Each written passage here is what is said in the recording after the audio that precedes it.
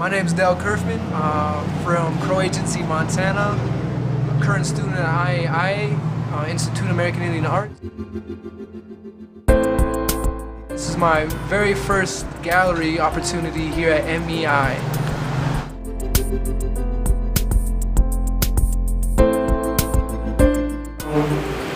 The transition from academics to professional has been enormous. Been accepted into IFAM summer August show. Um, that was a tremendous showing. I, I showed up with 10 paintings and uh, sold all of them. So. And this opportunity with MEI has been uh, monumental. It can't be described in words.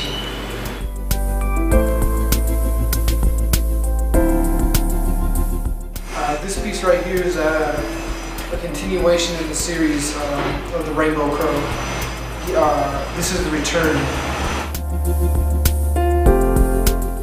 I don't put myself in that pre-labeled box. I continue just to do art as I, as I see fit. I'm a traditional crow artist.